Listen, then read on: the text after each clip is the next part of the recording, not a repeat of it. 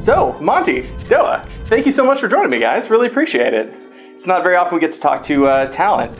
Um, so today you just did your All Star game. You won. Congratulations. Good. Um, as casters, you guys have to be really critical of, of players who are the best of the best. Considering um, this, are there any nerves or anticipation in putting your own skills out there for people to criticize? Not not in the least, because like nobody nobody expects us to be good. Like Exactly. we, we don't have to win games for a livelihood. So no, it's just so much fun playing on stage because like we're all I, I think I speak for all of us. We're all competitive gamers, you know, and we all love playing against other people. That's part of like why we love esports. But I think I think pretty much everybody, maybe with a couple exceptions on the talent team, knows that like their skill on stage in the talent takedown isn't like reflective of like them as a person or something. It's it's purely for fun and and uh, it's more fun to win. But like I don't think any of us care if the fans know how good we really are or something. You know. I just really like it because you get to have the same experience that the players do on Yeah. stage. So, you know, it, it does affect you, right? Because we've only done this a couple of times. And, like, I do, I never get nervous, even if I'm casting in front of a stadium of 20,000 people. Uh, but I do get a little bit nervous when these games start. Really? Yeah.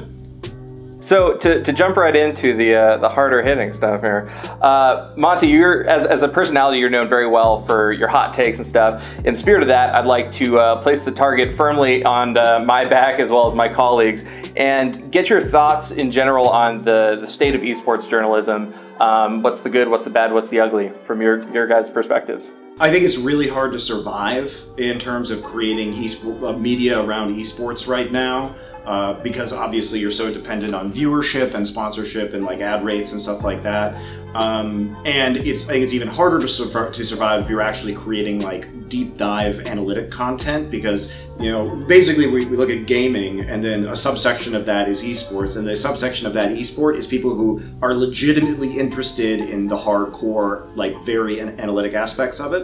So I think it's I think it's really rough out there. And I think that people react really negatively a lot of the time to some of the best journalists that we have in the scenes um, because even if there's some ugliness that comes out as you know as a result of uh, writing an article that reveals something that is necessary to shine a light on oftentimes fans can take that really badly um, because they they feel like personally attacked by it because it's a game that they follow. And so i think there's a lot of really unnecessary vitriol to to reporters uh, who are just trying to do their best to expose you know things that happen in the scene if you if you are going to do that kind of work. So i think it's hard.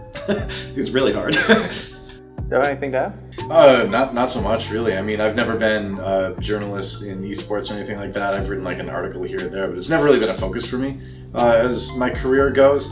Um, you know, and I think it just it depends on the person, right? I, I, what I don't like to see is uh, people just try to like spur controversy for the sake of clicks, right? Because there are outlets out there that do that, and that irritates me because that takes the dialogue that the fans and the community is having away from necessary conversations that might be serious or might not, and also takes fans away from the ability to just enjoy the game and focus on you know the players and the matches and stuff like that. So, I mean, I, I don't have a lot to say about it, but my biggest beef is just with the you know the the tabloid uh, esports uh, outlets, as, as it were.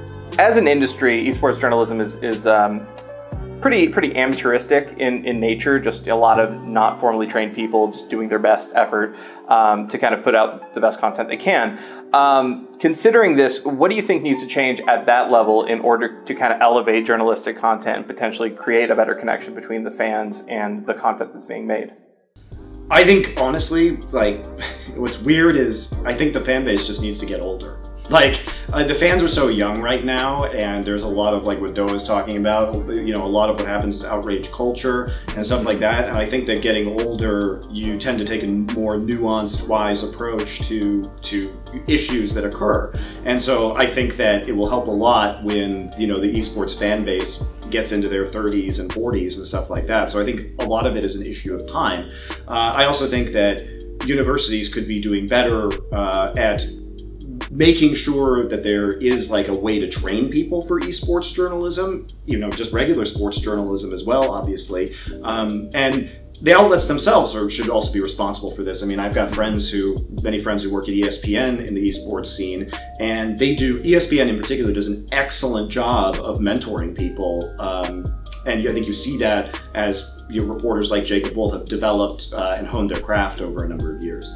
I think like you totally hit the nail on the head with the university side of things. Um, in that like universities need to start training journalists from an esports perspective, and that's something that's just going to take time. Um, my old college just launched their esports uh, uh, program, and one of the things I'm prioritizing with that program um, is that they focus a lot on uh, esports broadcasting. So, because uh, training people to be production people, you know, cameramen, like all the kind of stuff you need in production, but from a gaming perspective, right? Where right now we kind of have that thing, and this applies to journalism too, I think, where you have a lot of journalists that are really good at journalism and don't know esports, and a lot of esports fans that don't really know good journalism.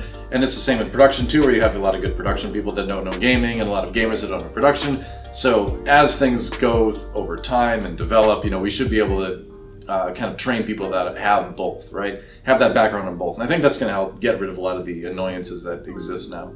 As your roles working with both Riot and Blizzard change your perception of uh, how esports leagues are run or should be run? well, yeah, I mean, it's a. I think we've. I think we've definitely seen uh, very far ends of the bell curve as far as how well or not well uh, a league or a tournament um, might be run in our years of working with different developers. And uh, yeah, I mean, what, what can you say? It's it's uh, it's frustrating when you see developers making the same mistakes over and over again. But at the same time, I think the trajectory has been overall positive, and it's just another one of those growing pains things, right? Where it's like these developers have never had to think about, you know, running a, an esports league before, right? They're not trained for that. This is not something that you expect to ever have to do when you start out, you know, set out to be a video game maker, right? So I think I think uh, there's an element where you know veterans in the industry need to be listened to maybe a little bit more by the developers here and there, but uh, it's just kind of one of those developing things that'll keep sort of hopefully growing. But yeah, we've certainly seen both sides of it. Yeah, Dylan and I were consultants for the first two years of the Overwatch League. Mm-hmm. Um, so we, at least I feel that they've taken a lot of uh, feedback and like respected our experience in the industry Yeah, on a variety of, yeah. of topics. But I think one of the problems is also, you know, to go back to the last question, esports needs to grow up a little bit. And what, what, what happens is you bring in people from professional sports who are older, more advanced in their careers, very good at uh, producing, you know, either you know shows here in Hollywood or who are on the sports end, and they bring with them a lot of experience. And I think only now are people who are like OG, like endemic esports people, are starting to be old enough and have enough career experience to like actually start, you know, seriously working on, on shaping the broadcast and shaping the leagues. Because I think beforehand, a lot of us were just too young to really understand it. Oh, yeah. And there, there's sort of this, there was sort of this void in the middle. And I feel like now that a lot of us are, you know, getting into our mid third, mid late 30s now, we're starting to be at a point in our careers where uh, we have enough experience to have insight um, and to start really pushing the direction of broadcasts. So, Right. I think to a certain extent, uh, the development of esports kind of parallels the development of like uh, communication technology, where you have so many, you know, laws being made about the internet and how the internet is, you know, used and distributed and what can go on what platform, and a lot of it seems like it comes from a very archaic sort of like mindset of what communication is, you know, what a utility is and that kind of stuff too. And a lot of that is because a lot of people making these laws didn't grow up with this stuff, right? They're they're not used to how to t- handle it, right? So when you get into things like uh, bigger esports leagues where you have people at the top that maybe aren't as interested or not interested, aren't as uh, experienced with gaming and knowledgeable about the knowledgeable, audience. right? You're going to run into this kind of stuff, and, and you know, again, it's just going to take something. It's going to take our generation getting older and getting into those positions, right? Because we're on camera right now. Eventually, you know, we're probably going to be behind the scenes working on this kind of stuff. But right now, a lot of the people that kind of know that stuff are in more active, you know, talent or player, you know, roles. So, or coach roles. Yeah. I think we're, we're starting to sort of bridge the gap of the people who came from the other productions are starting to learn more, like uh, are learning more about esports and getting better at delivering to the audience. Mm-hmm. And the people who know the audience and know esports very well are growing up. So I feel like we're like bridging the gap both ways right now, which is it's cool. It's cool. What would you say is the the biggest misconception among fans about how uh, the logistics of esports kind of work? I mean, every fan out there thinks it's easier to do something than it is. You know, it's it's like, you know, you parallel it to like Game of Thrones right now. You know, people are enjoying. They're like, why don't they just add three more episodes onto the season and fix it? It's like, don't you realize that they filmed all this stuff like a year and a half ago? Like, you can't just go back and do that. So, I think you know, and, and again, this isn't like a criticism to the fan base. It's just something where they don't live in a world that provides them any experience in terms of like how this actually functions, right?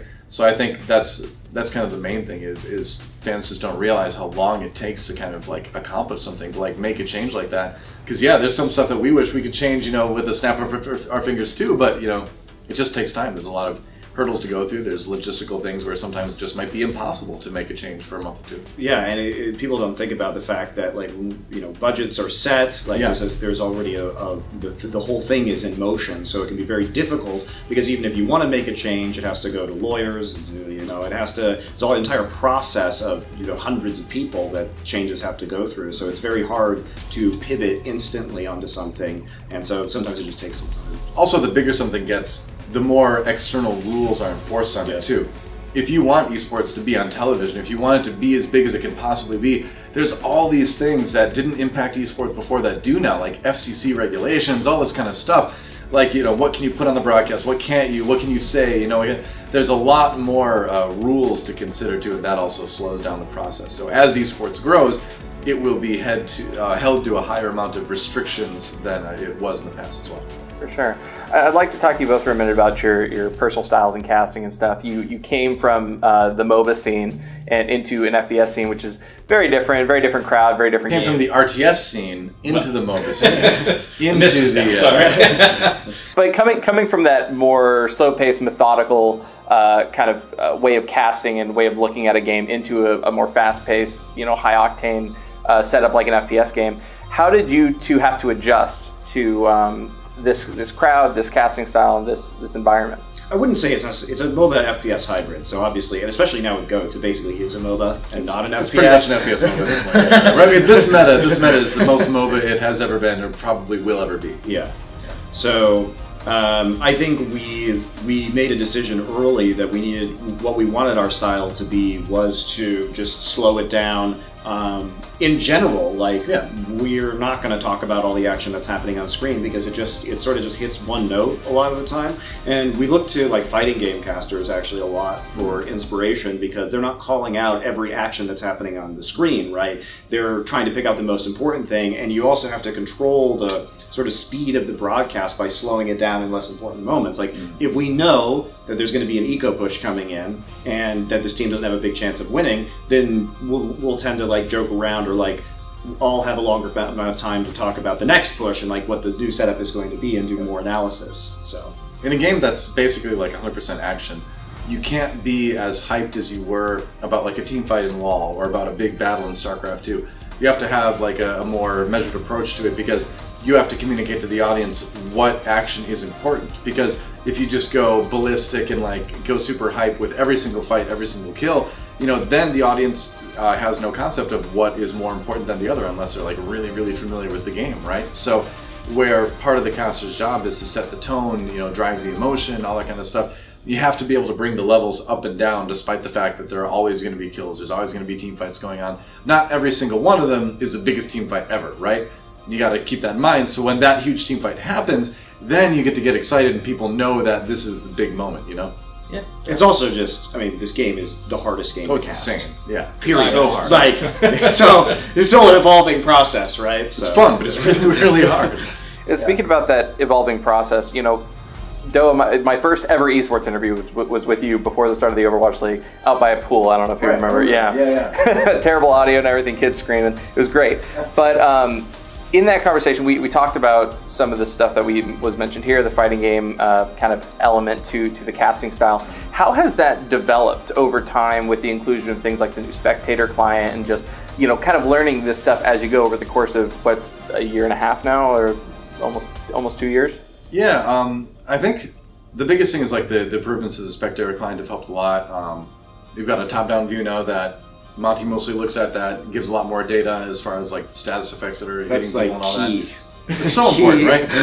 and I think the the constant thing, uh, especially for me as play-by-play, is just keep reminding myself to slow it down. You know, you just gotta keep slowing it down because as a play-by-play guy, especially coming from something like League of Legends, you really want to like talk about all the action, but you can't. It's, it's impossible, and you shouldn't. You know, so it's it's constantly like, all right, you slowed it down. Now slow it down more. You know, now Now, like, distill this even more and find out what the, you know, ultra important moments are and kind of free up more of that time. You know, I mean, people talked about like the Monty Doa podcast, right? And the League of Legends games and all that. And we obviously don't have anywhere near as much time to do something like that in Overwatch, but the more we slow it down and the more we sort of like crystallize as far as what moments are the vital ones to hit, that opens up a little bit more space to kind of bring the personalities out and have a little bit more fun with it. And uh, yeah, so I think uh, you know over time it's it's I think it's gone pretty well. Yeah. I, I have a good time. Yeah. So It's, it's uh, also like it depends yeah. on the stakes of the match, right? Like Right, we right. we'll go in if it's going to be a garbage game that nobody Right. cares about. Like we have to be entertaining if the game isn't. So we'll joke around a lot more. You know, in nothing's worse than bad teams. mayhem justice games Yeah. this season are not going to get a lot of serious casting from us. Like we're just going to make jokes, Mm-hmm. and that's how it's going to be. Like sorry, mayhem and justice fans, but uh, And we're not, we're not going to pretend something inter- is interesting that it's not. And likewise, like if it's a stage playoff match, we're going to be much more dialed in on the game and much more hype. And like you know, I, you can see there's a difference because I think in any game you come into, the stakes have to matter, right? So otherwise, it's just sort of like lying to the audience in a way. And they'll know too. Like the audience will know if you're overhyping something, right? So you, you shouldn't do that first of all. But if you choose to, then the audience will immediately see that you're being fake, right? And they're gonna like that even less, you know.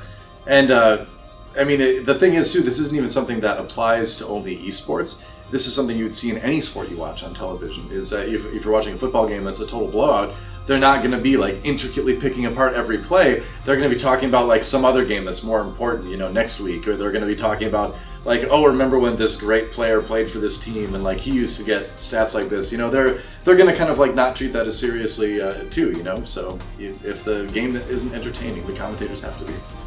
Fair enough. Last question, guys. Um, so this year we have the GOATS meta, which is a pretty big and dramatic change up to the formula that we came to know and love. Did that also, in part, like change the formula of how to cast for it, or, or was it kind of a natural progression considering the more MOBA aspects you were mentioning earlier? I mean, I think it's better for us. I think it made it it made it easier and harder at the same Yeah. time.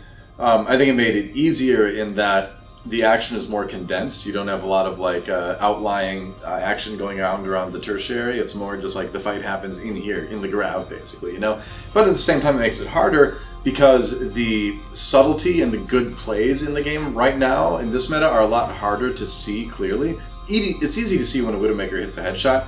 It's a lot harder to see when this, you know, D.Va turned at just the right moment to eat a grav, or the Reinhardt like got his shield in just the right position, you know, or he got like one swing around a corner that unlocked his Earth Shatter or something, right? So it's tougher to sort of like bring that excitement across because it's much more subtle in this way. Yeah, I think it's easier to spectate, but harder to watch, if that makes sense. Like the free cam, and, and you can contain all the action in a, in a single shot, which is unusual by our historical Overwatch standards. But like Doa was saying, the subtlety. I mean, I like goats because I like MOBAs, and so you know, having it's basically a MOBA team fight, and having this subtlety built into who's using cooldowns. You know, I, I'm keeping track of bubbles and like Brigitte armor packs while the, the fight's going on, which is exactly what the pro players are doing, right?